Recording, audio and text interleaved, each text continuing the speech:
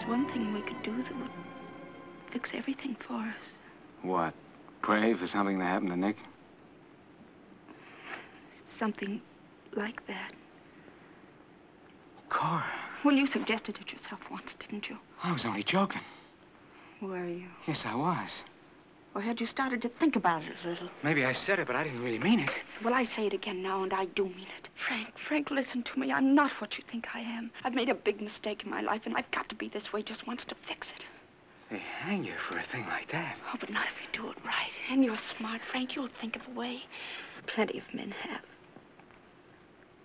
He never did any harm to me. But, darling, can't you see how happy you and I would be together here without him?